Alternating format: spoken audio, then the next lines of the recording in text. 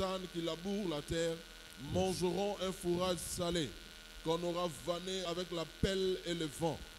Sur toute haute montagne et sur toute colline élevée, il y aura des ruisseaux, des courants d'eau au jour du grand carnage à la chute de Tours.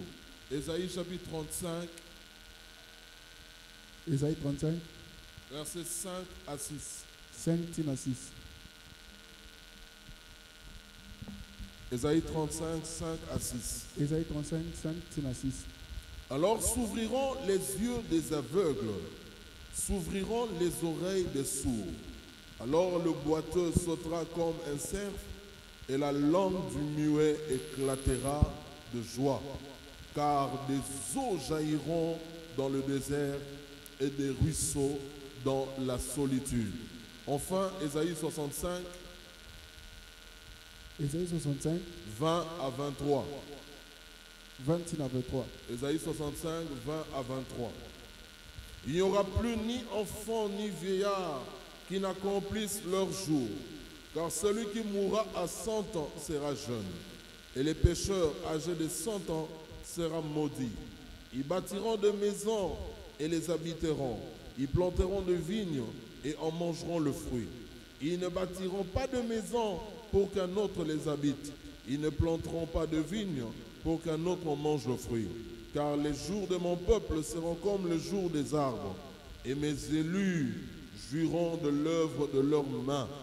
Ils ne travailleront pas en vain, et ils n'auront pas des enfants pour le voir périr, car ils formeront une race bénie de l'Éternel, et leurs enfants seront avec eux. Acclame la parole de Dieu. Alléluia. Nous sommes dans la continuité de ce qu'on a commencé il y a quelque temps. Nous sommes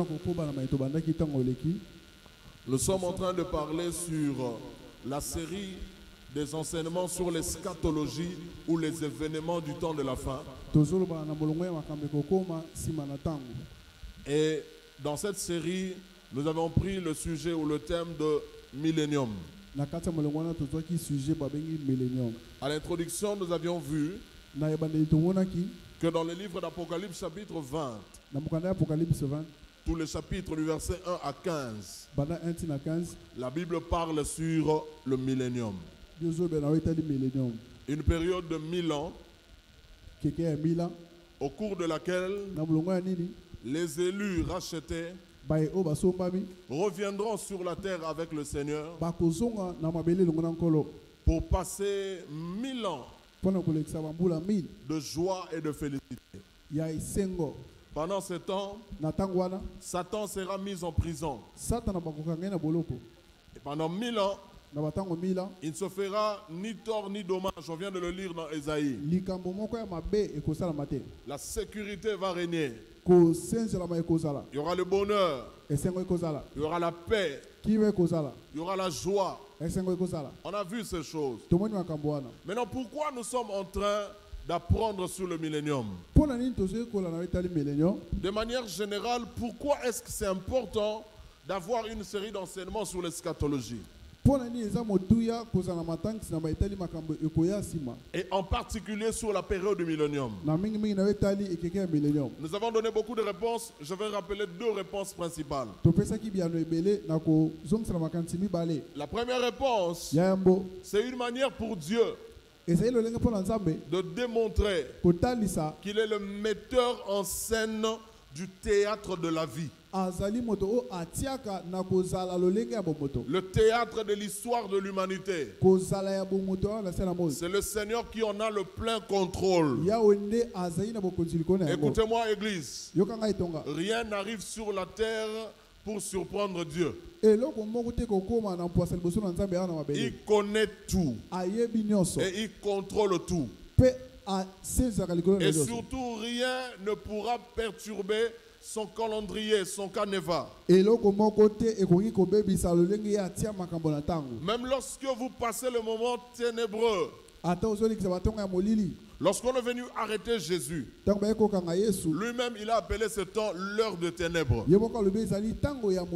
Un moment où il était à la guise de l'ennemi.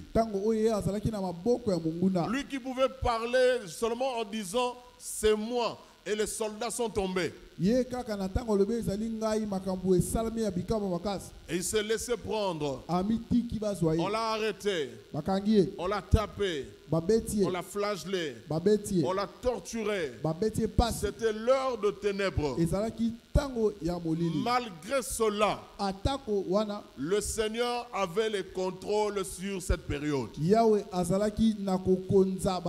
Pour preuve, une pléthore de prophéties s'accomplir pendant ce temps qui est appelé l'heure de ténèbres. Dans la Bible, même pendant la grande tribulation, à l'époque où l'Antichrist va déferler, va verser sur la terre toute forme d'atrocité, de perversité,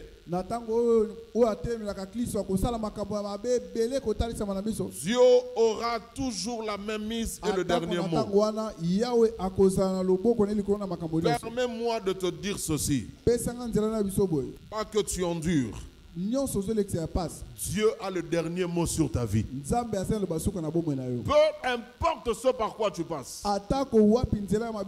C'est Dieu qui a le dernier mot sur ta vie. Tant qu'il n'a pas dit c'est fini, ce n'est pas encore fini. Ce n'est pas encore fini. Donc la première raison pour laquelle il est important pour nous d'apprendre la notion du millénium, etali millennium c'est pour que nous puissions nous projeter dans l'avenir et de constater que Dieu est le metteur en scène du théâtre de l'histoire.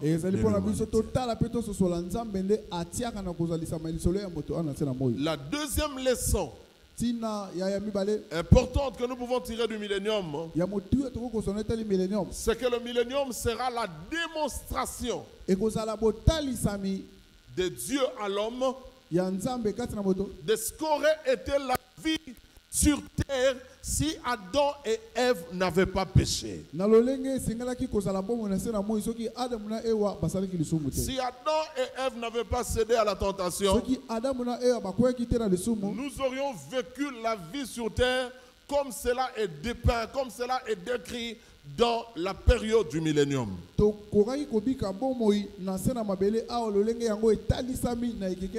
Gloire à Dieu.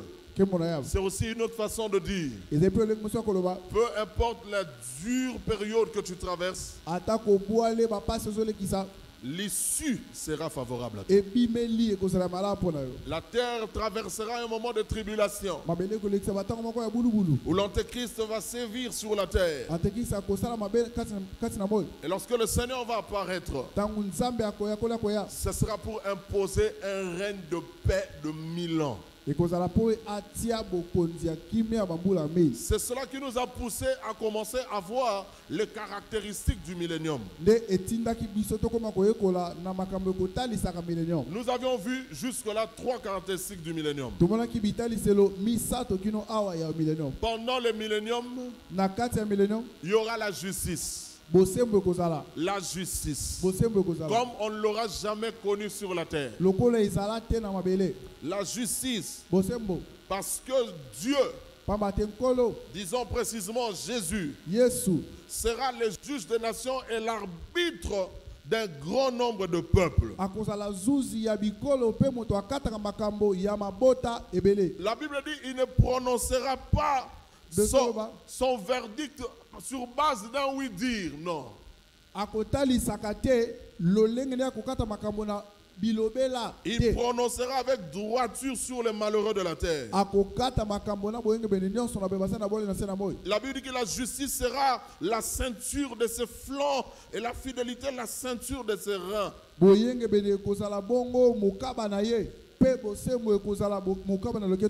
Dans Malachie, la Bible l'appelle le soleil de la justice. Deuxième caractéristique du millénium, pendant le millénium, il y aura la paix.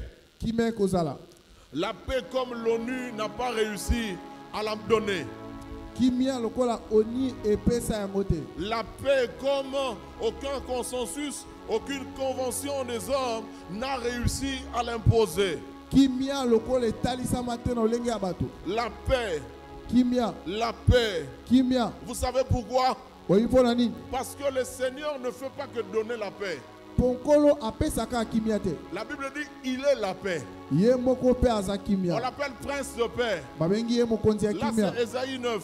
wana isaïe 9 Mais l'apôtre Paul dans Ephésiens 2,14 toma polo na efésien 214 appelle Jésus notre biso. Jésus est notre na Je peux te le garantir. Peu importe la période sombre dans laquelle tu es maintenant, la paix peut s'imposer dans ton cœur.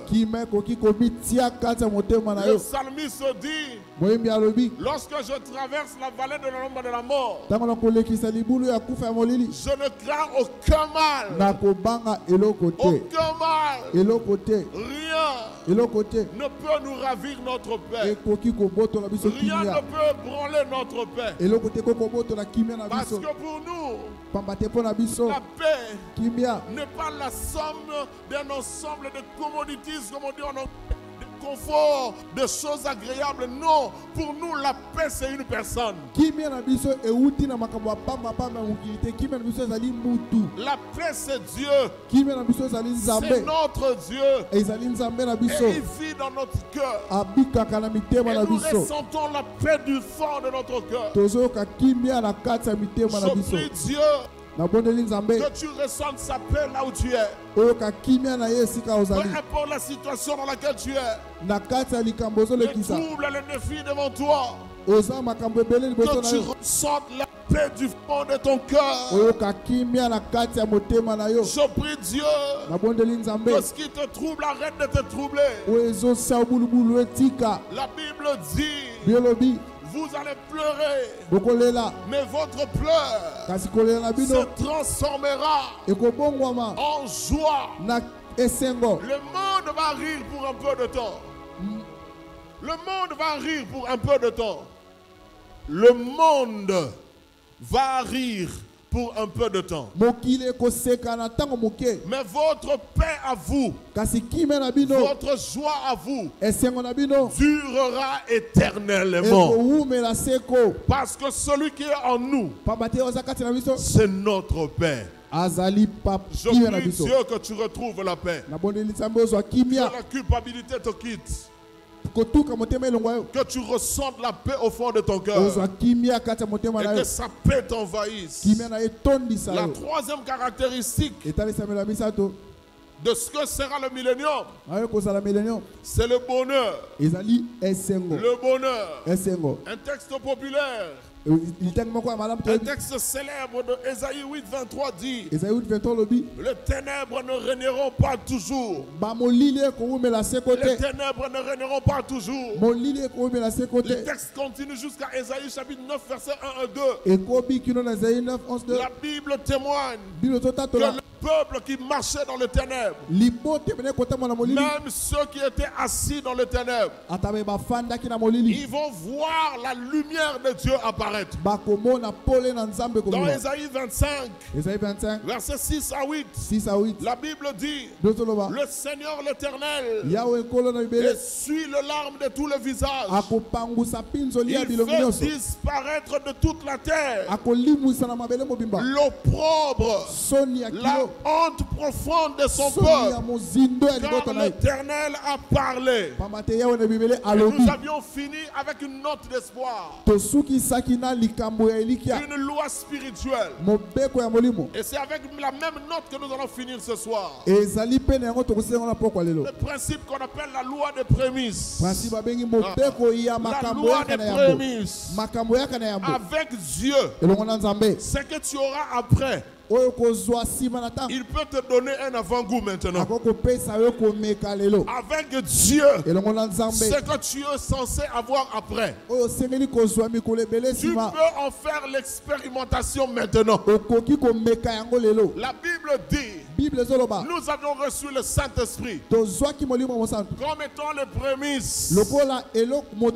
Les prémices. Avec lui, par lui, nous commençons à vivre sur la terre. tobandi kobika na mabele Ce que sera notre vie dans l'au-delà.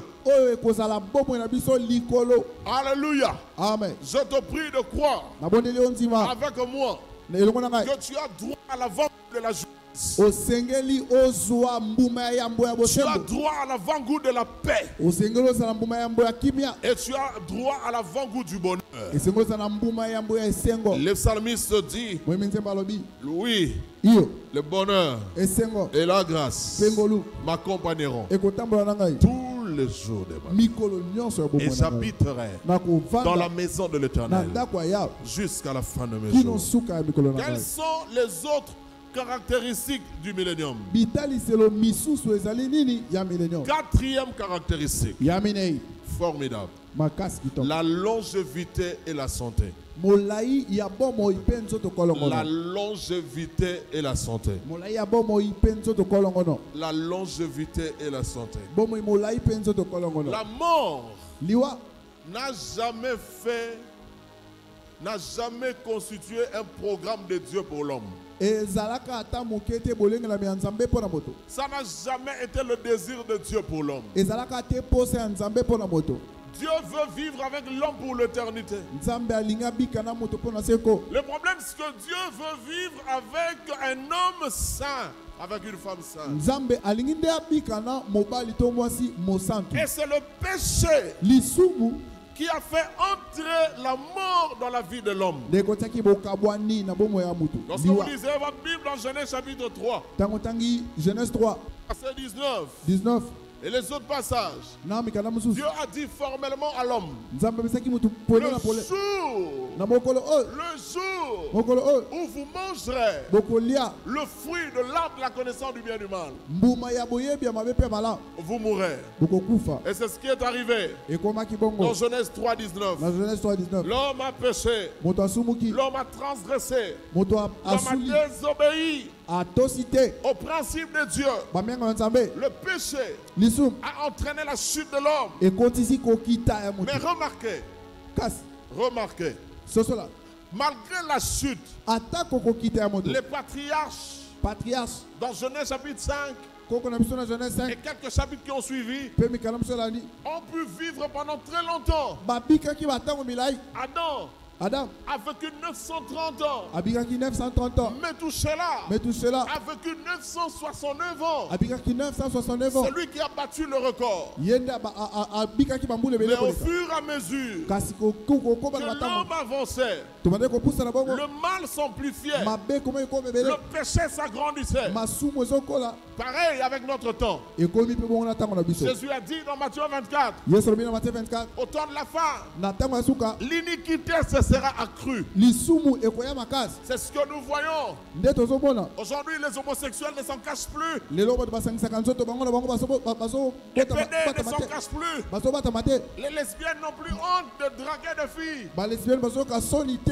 Ça se fait à la place publique. C'est régulier fréquent sur TikTok. Le péché est vendu gratuitement. Le péché bat le plein. Et du haut de 969 ans, na 969 ans avant le déluge, une sentence est tombée. L'homme a culmité jusqu'à 120 ans. Plus tard. 120 ans kokende mosika Moïse vient d'en chanter. Le psaume 90. na psaume 90 Il dit que nos années s'évanouissent. Notre, notre pèlerinage, le nombre de jours de notre ressemble à une ombre. L'homme a du mal à atteindre 70 ans. C'est 70 l'apanage de Robuste. Plus robustes atteindront 80 ans. bato ya makasi bakóma na 80 ans Oh, quelle tragédie.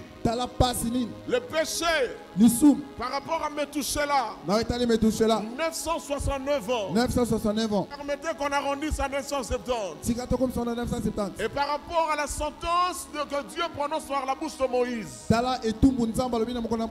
robuste 70 ans, le plus robuste 80 ans. le plus robuste 80 ans Le péché nous a volé 890 ans. lisumu oyibi biso 890 Le péché nous a pris plus que 900, presque 900 ans. lisumu oyibi biso pene ya 900 ans. Voilà pourquoi le Dieu d'amour, qui par la bouche du premier pape, yambo. j'aime l'appeler comme ça, premier pape, je parle de l'apôtre Pierre, qui a prophétisé dans Acte 3, na 21, acte 3 21 annonçant kotakola. qu'un jour va rétablir toutes choses. makambo Nous sommes en train de parler d'une période qui s'appelle le millénium, eza millénium? Qui aussi fera partie de cette prophétie. Concernant le rétablissement des choses. Et d'après ces prophéties, la vie, la vie sera de nouveau considérablement prolongée. Pendant l'ère messianique. Il n'y aura plus de ekozala te La Bible dit, et c'est formidable, un homme de 100 ans sera jeune. moto ya 100 ans akozala mwana moke Un homme de 100 ans sera jeune. moto ya 100 ans akozala mwana Aujourd'hui, un homme de 100 ans lelo mwana sa- moto ya 100 ans. ressemble à, du légume, comme vegetables, comme les anglophones disent. On le sort le matin pour qu'il puisse euh, être sous le feu de la chaleur du soleil. on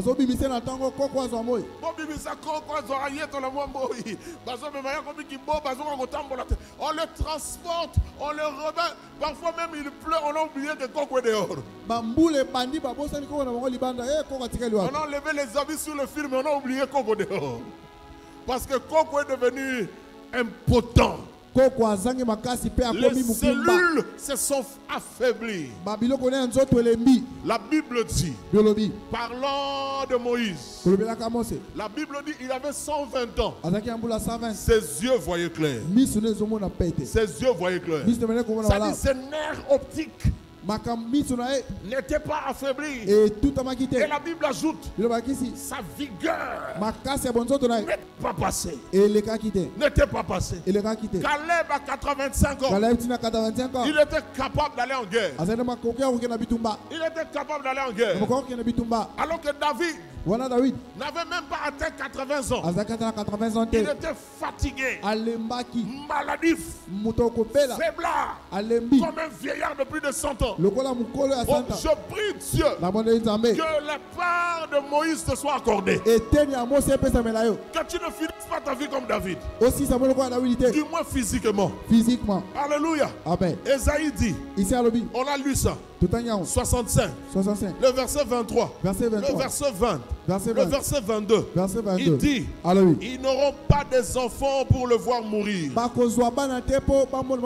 car ils formeront une race bénie de l'éternel. Vous entendez ça? Oyo Les enfants ne mourront pas. L'on ne mourra pas trop petit. On ne mourra pas trop. Et leurs enfants seront avec eux. Il n'y aura plus ni enfants ni vieillards qui n'accomplissent leur jour. Ekozala Mark. te na mwana moke to mokolo akokisa mikolo na ye Car celui qui mourra à 100 ans sera jeune. Et les jours de mon peuple seront comme les jours des arbres. Seront comme les jours des arbres. Il y a des arbres qui durent 300 ans, eza mikolo emelaka 300 ans comme le figuier. Il y a des arbres qui vont battre le record jusqu'au-delà de 300 ans. eleki mpe 300 ans ezali Et Dieu dit que le jour de mon peuple seront comme le jour des nzete La mort sera rare. Parce que dans Isaïe, la Bible dit que le méchant mourra. à 100 ans et il sera maudit. na 100 ans mpe bakolakela mabe Mais la mort ne sera plus fréquente. Ce n'est pas comme aujourd'hui, tu ouvres Facebook le matin, il y a une annonce de mort quelque part. Ce ne sera plus pareil. La mort ne sera plus fréquente. Ça sera quelque chose d'exceptionnel, de rarissime. Et pour ça, le nombre d'habitants sur la terre va s'accroître. Il y aura un grand boom démogra- démographique. Les gens auront la possibilité de vivre longtemps. Ceux qui seront revenus avec Christ, c'est-à-dire les rachetés qui ont été ressuscités, qui ont eu part à la première résurrection, yambo et ils ne mourront pas pendant le mille ans. Ils ne peuvent plus mourir. Parce que la Bible a déjà dit que la seconde mort n'a plus de pouvoir sur eux. Maintenant, les gens qui seront vivants sur la terre, les gens que nous allons venir trouver vivants sur la terre, qui vont profiter du millénium, ils vivront très, pendant très longtemps. Pendant très longtemps. Na batango molai lisusu Bien aimé, c'est possible. Ce qui semblait être impossible il y a un, deux, trois siècles. Aujourd'hui, des recherches ont prouvé. Les savants biologistes ont découvert que nos, or- nos organes et ceux des animaux sont faits de telle sorte qu'ils pourraient vivre beaucoup plus longtemps. D'ailleurs, on ne comprend pas pourquoi les gens meurent si vite. Il y, a il y a un docteur du nom de Alexis Carrel. En 1912, na 1912 ça fait plus de 100 ans. Eleki 100 En ans 1912, 1912 vous savez ce qu'il a fait? Il a, pré- il a prélevé le tissu du cœur d'un poulet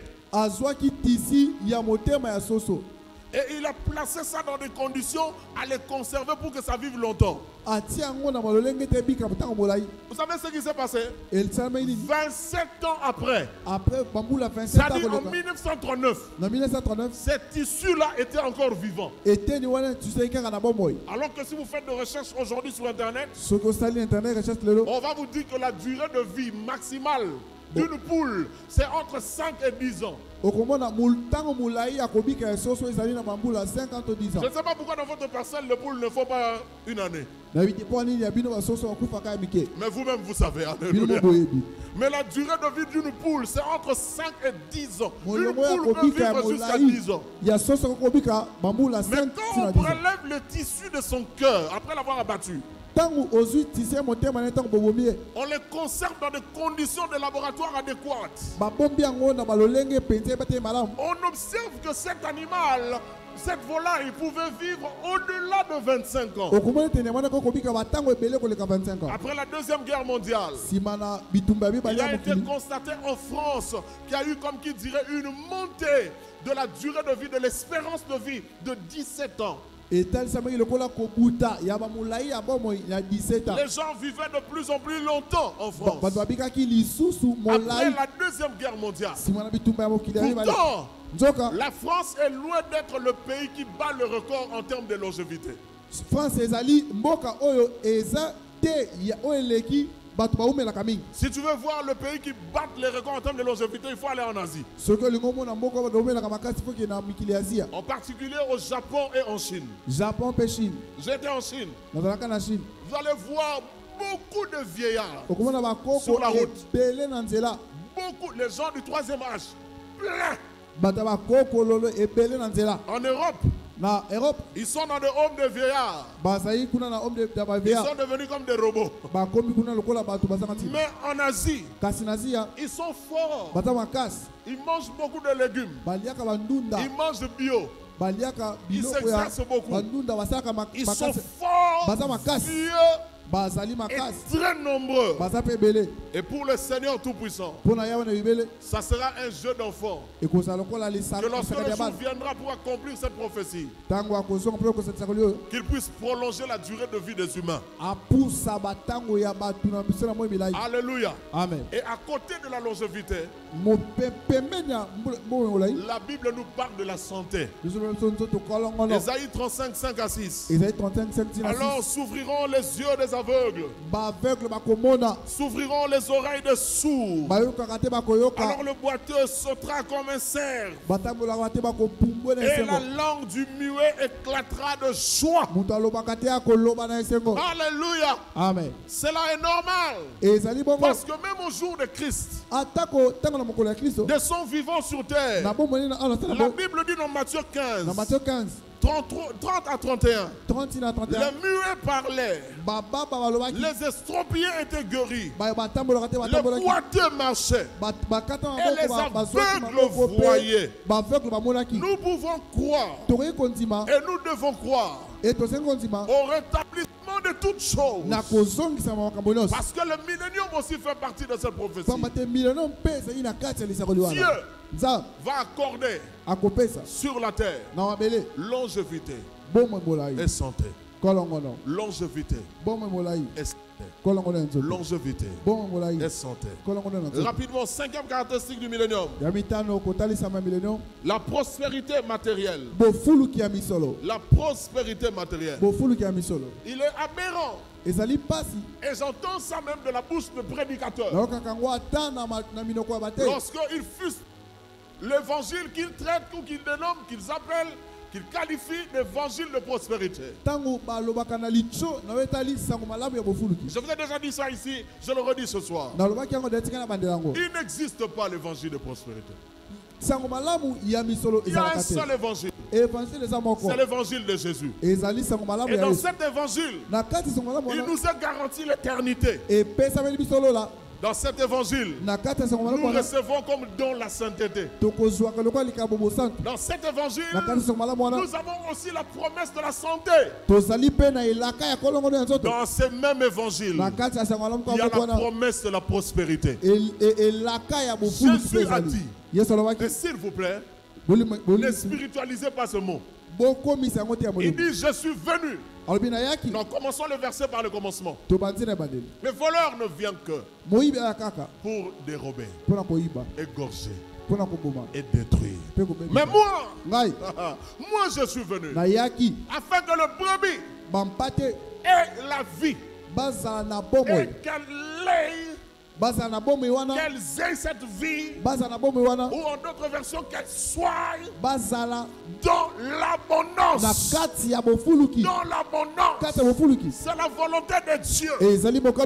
La prospérité matérielle. Qu'on ne vous pas. C'est la volonté de Dieu pour toi. La bienheureuse espérance, elikia ya malamu. c'est le ciel, ezali lola. C'est l'éternité. ezali seko. Mais sur la terre, ah na mabele. pendant que nous sommes encore sur la terre, toza na mabele. nous avons la sainteté, toza na posa ya bosantu. De la sécurité, kobatelama de la santé. Kolongono et de la prospérité. mpe misolo Paul dit, mpona alobi mon Dieu nzambe na ngai pourvoira akokokisa. tous vos na besoins. baposa na bino nyonso Combien de besoins À tous vos besoins, selon sa richesse, avec gloire, en Jésus-Christ. En Jésus-Christ. En Jésus-Christ. En Jésus, nous avons la promesse d'une vie paisible et aisée. Si ça ne vient pas encore, nous vivons dans le contentement. On dit dans 1 Timothée 6, un timothée sifo si alobi nous avons la nourriture et le vêtement, cela nous suffit. Cela nous suffit. Et il ajoute, Corinthiens, mpai bakorante il dit, vous connaissez la grâce de Dieu, de riche qu'il était. Il s'est fait pauvre. afin que par sa pauvreté, vous fussiez enrichis.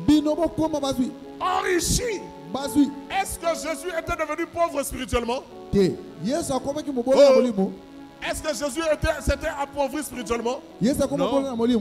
On parle de- du bien-être matériel. Il esalaka a bomo accepté te de ne pas vivre, il ne vivre pas comme un roi. Il est né dans une mangeoire, dans un lieu crasseux, là où le bête mange, là où le bête vive. C'est là qu'il est né. Il a vécu dans la... Non, non, ce n'était même pas la modestie, la pauvreté. Il était charpentier. C'était le métier de gens qui avaient, entre guillemets, raté la vie à ce temps-là. Il a vécu comme ça. Il arrivé d'avoir faim. Il a dit à son premier disciple que le Fils de l'homme n'a pas où mettre la tête. C'était un sans domicile fixe. Il, il a accepté cette condition pour que toi tu sois riche. Pour que toi tu sois riche. Il a créé eden un jardin luxueux et luxurant. Et c'est là qu'il a placé l'homme. Là où Adam se lavait, la rivière dans laquelle Adam se lavait, il y avait l'or dedans. Rouvrez votre Bible. Genèse. On dit qu'il y avait une rivière. Une rivière dans Éden. La Bible appelle ça Avila. La Bible dit qu'il y avait l'or dans cette rivière. Adam se lavait dans une rivière mai qui avait de l'or. Je prie Dieu qu'un jour puisse avoir, comme Salomon, une vaisselle en or, la fourchette en or, l'assiette en or, la cuve de ta toilette en or. wolo Ah, si tu crois que j'exagère, ferme la Bible. Ah, Déchire ces pages de la Bible. Bien-aimé, olingami je reprends. Lorsque ça ne vient pas encore, tu vis dans le contentement. Mais c'est la volonté de Dieu qu'en travaillant, tu puisses avoir une vie aisée. Nos enfants vont voyager sans problème. Les voyages seront programmés à l'avance. Que les grandes vacances de l'année prochaine, ils seront à Chicago. amen chicago Tu dis pas Amen parce que au Congo ici, on s'est contenté de dire que Bandal c'est Paris. Ah, Manzalemba, je ne sais pas c'est Miami ou c'est Chicago. Je parle pas de ces choses-là. Alléluia. amen Alléluia. amen Dieu n'a pas cessé de faire du bien aux hommes. La Bible dit il leur dispense du ciel les pluies et les saisons fertiles. En leur donnant la nourriture avec abondance et en remplissant leur cœur de joie. C'est écrit dans Acte 14, ekomami 17. na acte 14 Et 17 la Bible ajoute Je suis dans le Nouveau Testament, nouveau testament. Car le Seigneur nous donne avec abondance. Toutes choses pour que nous en jouissions. mpo tosepela na 1 yango Timothée 6, 1 17. timote 6 Et 17 dans Ecclésiaste 5, ecclésia 5 la Bible dit si tu peux acheter, osomba manger, omela. Réjouis-toi, réjouis-toi de ces choses, car c'est un don que Dieu a fait. Au Fils des hommes. Je prie Dieu que tu reçoives ce don. Ce don de faire de bonnes études. Ce don d'avoir un savoir-faire technique. De savoir faire, de donner des solutions aux problèmes des gens. D'avoir un travail rentable, bien payé. Ce soir, quand je relisais ce message, j'ai entendu dans mon cœur, il y a des phrases qui vont disparaître de nos bouches. Par exemple, nouer les deux bouts du mois. Nouer les deux bouts du mois. Non, pas seulement qu'on fout dans le c'est-à-dire être capable de faire face à toutes les dépenses du mois. ah. De ne pas avoir de soucis passant d'un mois vers l'autre. Tu as payé le loyer, tu as assuré la provision, tu as fait toutes ces choses et tu es en paix. tu es en paix. Parce que Dieu a dit, et c'est l'apôtre Paul, encore aux Corinthiens, par la grâce de Dieu, il fera en sorte que vous soyez comblés de toutes sortes de grâces. Afin que possédant toujours en toutes choses. Ah, Écoutez, nyonso le- écoutez les termes qui sont choisis. Possédant toujours en toutes choses. De quoi satisfaire à tous vos besoins. Vous en ayez encore en abondance pour toute bonne œuvre. Je suis en relation avec beaucoup de gens qui travaillent dans des banques. Et parfois, ils me racontent des histoires. Tu te dis, waouh, c'est un film ou c'est la réalité? Une dame qui vient en banque, je vous parle de 2021, je vous parle du mois d'octobre, je vous parle du- 2021. de, de- de la République démocratique du Congo. congo 2021 Elle vient en banque, elle demande à son conseiller, l'administration, à l'administrateur de ce compte, combien j'ai dans mon compte? La dame tape sur l'ordinateur, il dit 315 000 dollars américains. 315 Il 000 dit non, pas ce compte-là. L'autre compte, il tape, c'est autour de 420 quelques mille dollars américains. 450 000 dollars dit, ah américains non, tu me comprends pas. abi ososola te Je parle de ce l'autre compte-là, le plus grand. Quand on tape sur l'ordinateur, c'est dans l'ordre de plus de 1 million, je ne sais pas combien de centaines de milliers de dollars américains. 1 million bacentaine de millions de dollars Il n'est américains pas dans la politique, il n'est pas dans les magouilles, il n'est pas dans le vol. C'est quelqu'un qui travaille. aza Parmi mes contacts, bakontak des gens qui ont de centaines, de centaines de milliers de dollars en banque. Ils ont construit des maisons, ils ont, ils ont bâti des entreprises. J'ai l'impression qu'ils ne savent plus quoi faire de leur argent. Oh, je prie Dieu avant que tu ne meurs, que tu arrives à ce niveau-là. amen. Zoé m'a posé une question hier. Il dit, Daddy, qu'est-ce que tu feras?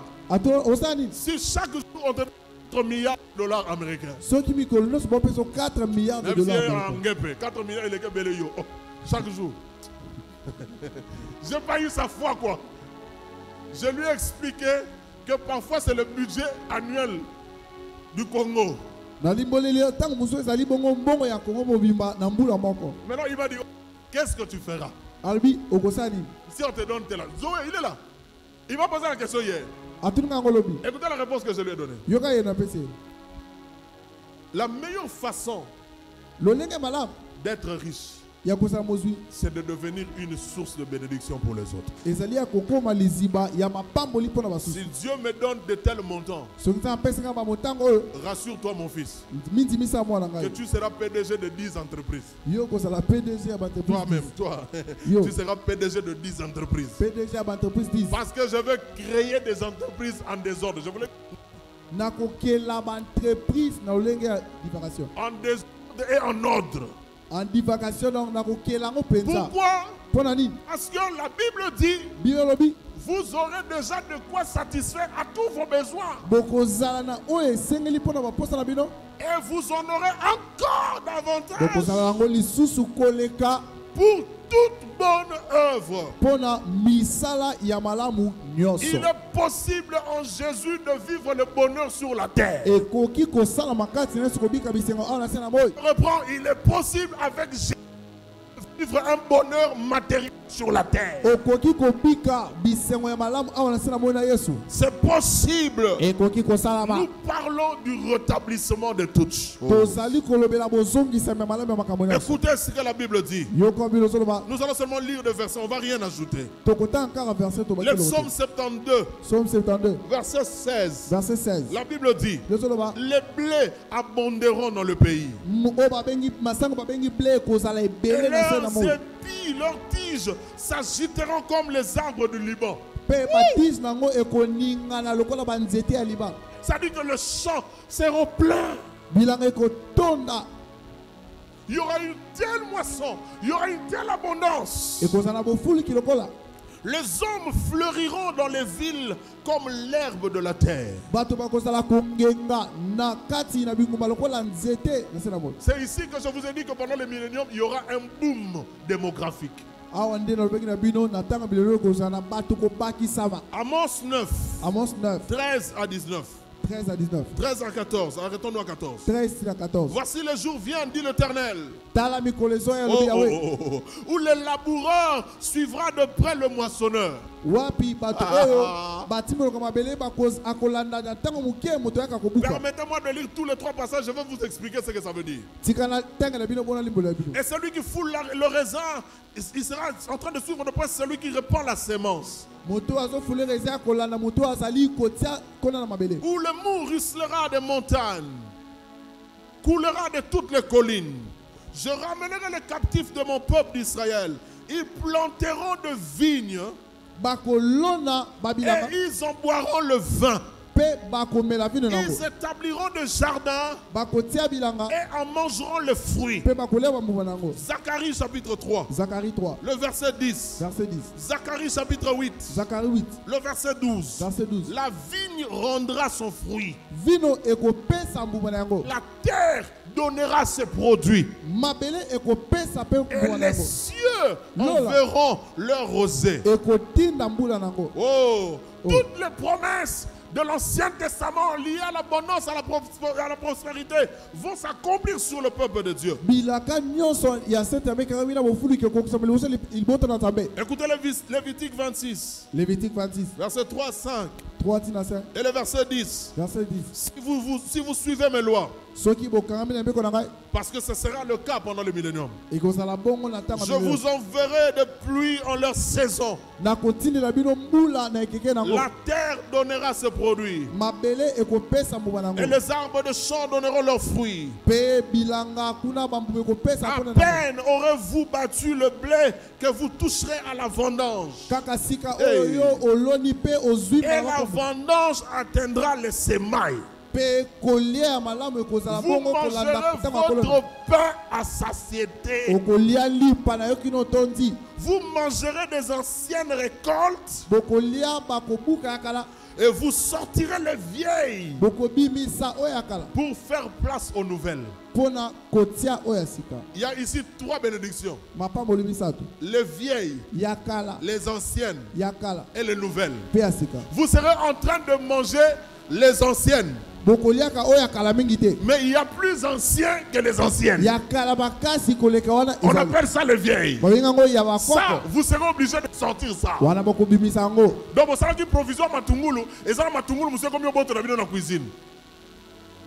Oso monango, matungulu, comme vous avez dans la cuisine, parce que si la terre, et Dieu dit, on sera obligé de faire sortir ça. Pour laisser place à la nouvelle provision, au nouvel approvisionnement. Qu'est-ce que Dieu veut dire? Dans tous ces textes qu'on vient de lire Vous ne connaîtrez jamais de panne sèche. Vos stocks de provisions ne s'épuiseront jamais. À un certain moment de la vie, on a vu ça chez nous. C'est ma soeur qui travaillait dans une bonne, belle entreprise aujourd'hui. Bon, elle est ce qu'elle est, mais à l'époque, c'était une bonne entreprise. Et parce qu'elle avait le- la, la fonction d'enquêtrice, inspectrice, inspectrice on lui donnait, à part le salaire, beaucoup d'autres avantages sociaux. Ils avaient droit à la vision alimentaire. À kokoka Zahir ici aujourd'hui, Sep Congo. sep congo aujourd'hui. On lui donnait ça. Et comme à l'époque, elle n'était pas encore mariée, donc elle habitait chez nous en famille. Chaque mois, il y avait, je ne sais pas, deux ou trois cartons de boîtes de tomates conserve là. Salsa ou siao, quelque chose comme ça. bakarton ya baboite ya tomate ya conserve Ça entrait. Margarine, poisson salé. margarine Beaucoup de choses. Et on stockait ça dans la chambre de maman. Bon, nous autres qui avons le ministère de deux doigts,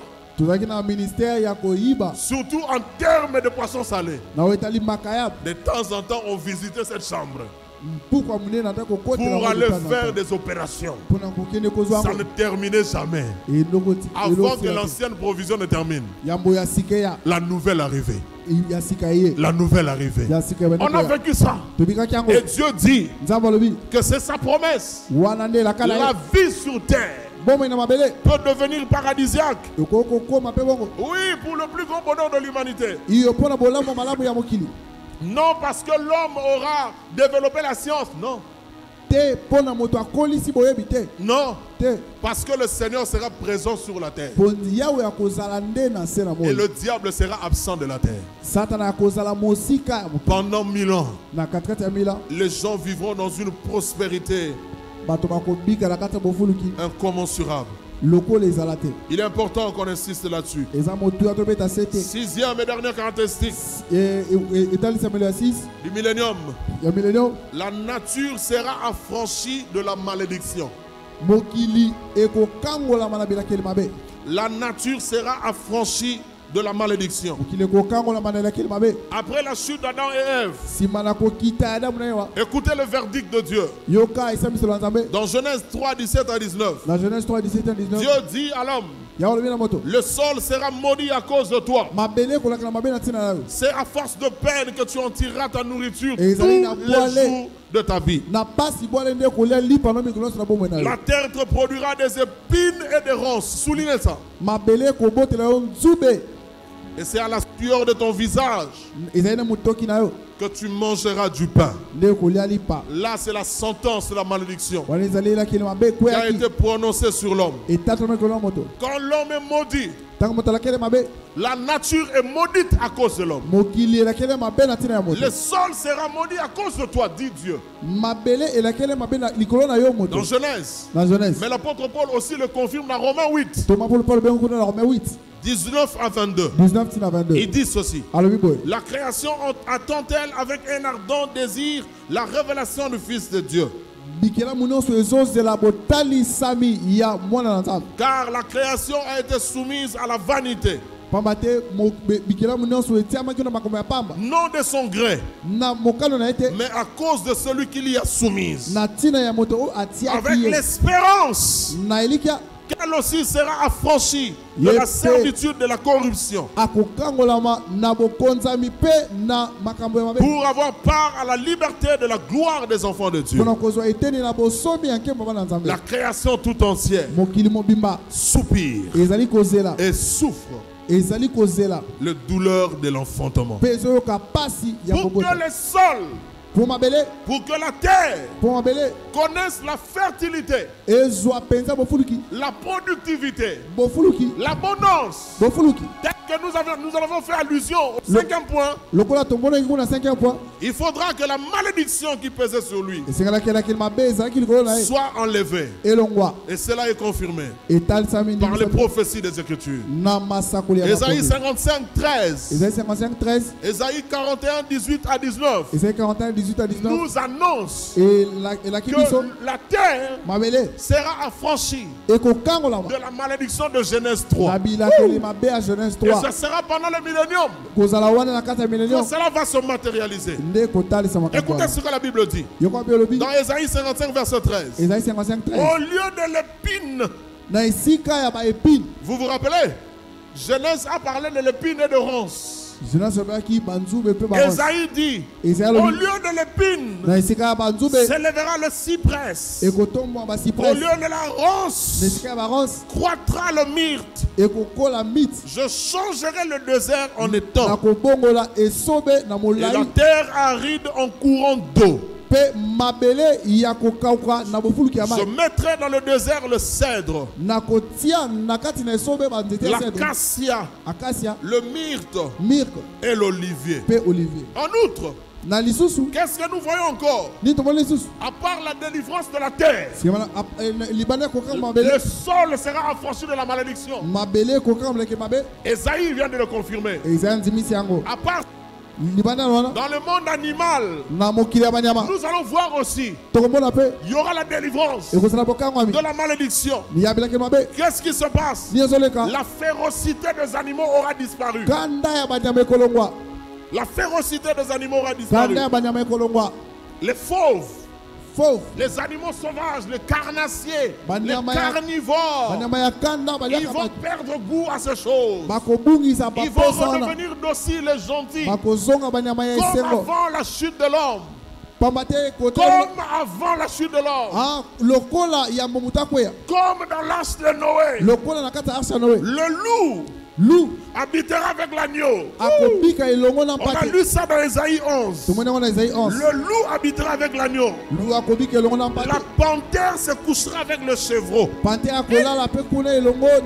Le veau, le veau, le lionceau. Et le bétail. Qu'on engraisse seront ensemble. Si tu connais un papa qui fait l'élevage de bangulu. de chèvres, dans le millénium, dans son élevage de ces animaux-là, il y aura aussi les lions, il y aura aussi les loups. Il va élever ces choses. Ces, ces animaux cesseront d'être féroces. Wow. La Bible dit un petit enfant le conduira. Comme on envoie un petit enfant aller nourrir les, les brebis. Ces animaux sauvages seront conduits par un petit enfant. Pour aller goûter de nzete. La Bible le dit. La vache et l'ours auront un même pâturage. Et leurs petits, un même gîte, une même maison. Et le lion, lion comme le bœuf, mangera la paille. Dans le millénium, le lion va manger la paille. Le lion va manger l'herbe. Les nourrissons, non, non, les nourrissons, les bébés, Bana. les petits enfants. bana Les nourrissons se battra sur l'antre de la vipère. Se battra sur l'antre de la vipère. Ah. Le trou de la vipère du serpent. Et l'enfant qui est sévré, oyo qui est en train d'être allaité, il mettra sa main dans la caverne du basilic. na caverne ya basilike On a cité vipère et basilic. Ce sont les serpents les plus venimeux. Batangi vipere na basili baza banyoka bazalaka na ka emunoko na bango Dans le millénium, un petit enfant mettra sa main. Mwana moko ya moke akotia dans le trou où se trouvent les serpents. akotia loboko ne na kati ya libulu esika nyoka azali. Les serpents ne va plus mordre. Nyoka ye te serpents ne va plus mordre. nyoka ekoswa ye Il ne se fera ni tort, mabe ekozala te. ni dommage. Mabe ekozala te. Sur toute ma montagne sainte. na ngomba na ngai ya esantu Bien-aimé, bolingami au nom de la loi des prémices, je me permets d'annoncer ce soir sur ta vie. Que tu vivras longtemps et en bonne santé. Je reprends, tu vivras longtemps et en bonne santé. Pendant que tu es en train de dire Amen, la maladie quitte ton corps. La maladie même qui est appelée héréditaire quitte ta famille. Je dis, tu vivras longtemps. Tu vivras longtemps. Même s'il te faudra atteindre 100 ans, tu seras fort. Tu seras fort. Muscles ne vont pas s'affaiblir. Tes os seront sains. J'annonce sur toi que tu as droit au bonheur et à la prospérité matérielle. Ces choses qui sont prévues pour le millénium. Ces choses qui sont prévues pour l'au-delà. Nous pouvons en jouir sur terre comme étant des prémices. Et enfin, tu dois croire ndima que non seulement toi, mais partout où tu es, le sol que tu foules, tout ce que tu touches, tout ce que tu entreprends, nyonso kosala chien dans ta maison, les chiens dans ta maison, ils seront affranchis de la loi de la malédiction. Je suis en train de dire que le bête fauve ne vont rien te faire. S'ils n'ont rien fait à Daniel, ils vont rien te faire. Ça sera pour toi. L'expérience E- ya de la loi des prémices, de ce qui nous attend pendant le millénaire. Tu seras mordu par le serpent. Le serpent ne te tuera pas. Son venin ne te tuera pas. Parce que Christ a dit, voici le miracle qui accompagnera ceux qui auront cru. Ah, mon nom. Ils chasseront les démons. bakobengana Ils imposeront les mains sur les malades. Les malades malade seront guéris. Ils parleront de nouvelles langues. Il a ajouté, abakisi même s'ils boivent de breuvages mortels, cela ne leur fera rien. Le venin ya serpent ne leur sera pas fatal. Ne leur sera pas mortel.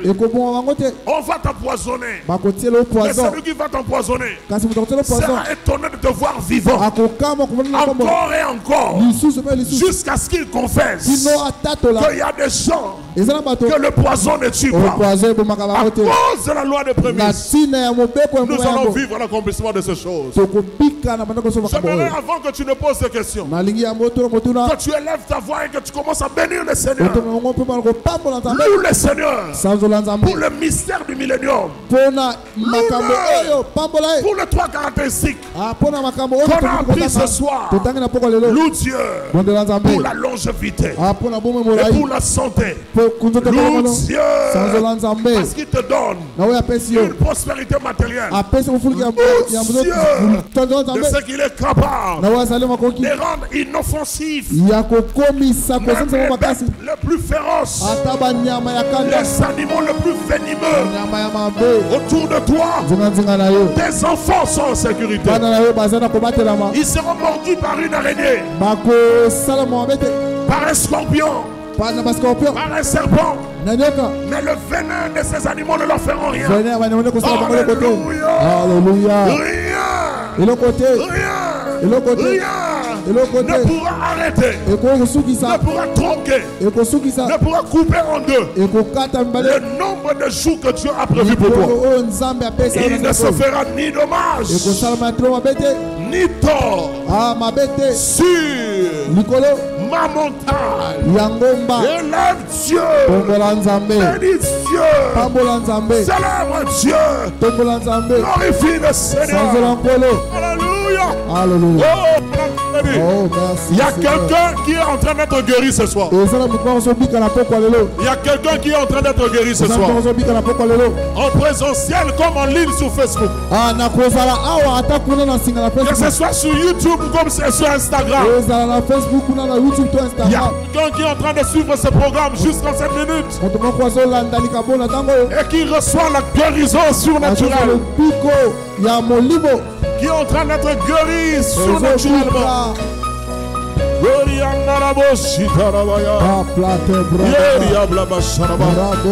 Tu ne diras plus jamais, tu ne diras plus jamais, je vais me battre pour nouer les deux bouts du monde.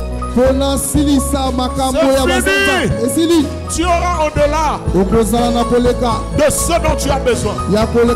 Tu auras, tu auras au-delà. L'abondance est ton lot. L'abondance est ta part. Oh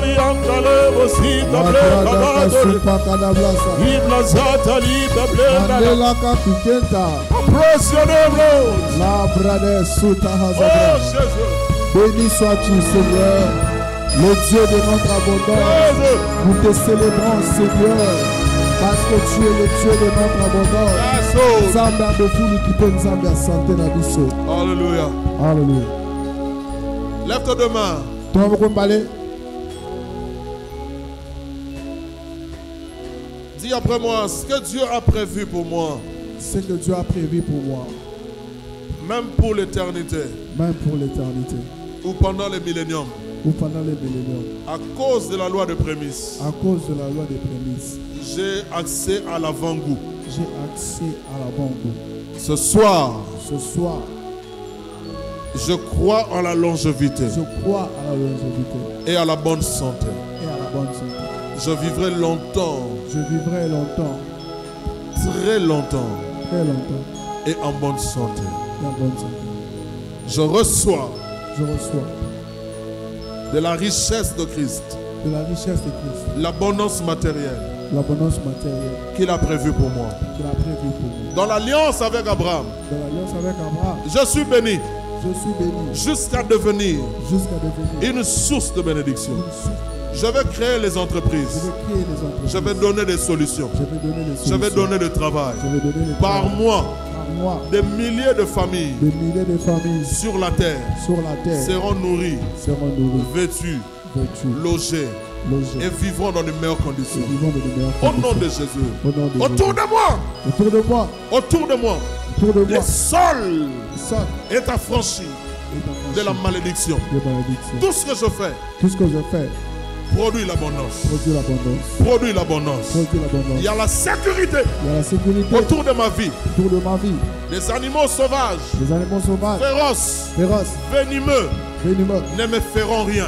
ne me feront Ni rien. moi, Ni moi, ni mes enfants, ni mes enfants, ni ma famille, ni ma famille, ni mes proches. ni mes proches. Au nom de Jésus. Au nom de Merci Jésus. Seigneur, Merci roi Seigneur, de rois, roi de rois, roi de rois, roi de rois, qui m'a établi qui m'a établi roi roi et prêtre, et prêtre. et je régnerai avec lui reviendrai avec lui pendant les millénaires pendant le bénédiction sur la terre. sur la terre. Acclame Jésus. Acclame Jésus. Oh yes. Amen. Amen. Merci. Ok. il est 19h juste. Si vous avez des questions, gardez ça. On va y répondre prochainement par la grâce de Dieu. Ou si vous ne voulez pas oublier, écrivez-le moi. soki nakobosana te komela ngai Comme ça, à la prochaine session, on va commencer à répondre à vos questions. Avant- yambo Passer à la suite de cette série d'enseignements. Gloire à Dieu. Les paniers d'offrande circulent. Nous recevons les nouveaux venus. Est-ce qu'il y a quelqu'un parmi nous